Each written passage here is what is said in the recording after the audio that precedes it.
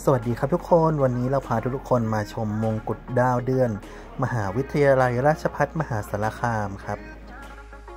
สำหรับมงกุฎเรือนนี้นะครับ เราได้เป็นผู้ออกแบบและจัดทำทั้งหมดนะครับ และในงานประกวด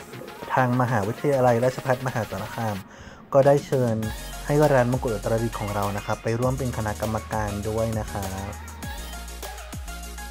ทางเราก็ขอฝากผลงานมงกุฎของทางร้านเราด้วยนะครับ